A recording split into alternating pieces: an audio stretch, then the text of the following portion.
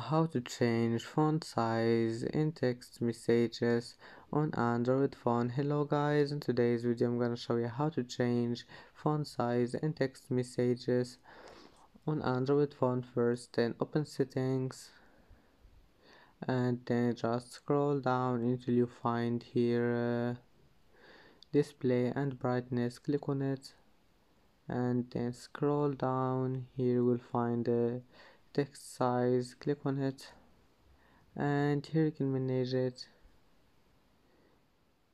Uh, you can make it large or small and then just go back. It will be saved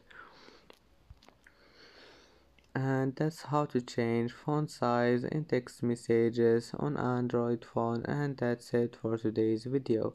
If you like this video don't forget like and don't forget subscribe. And thank you for watching this video. Until the end see you in the next video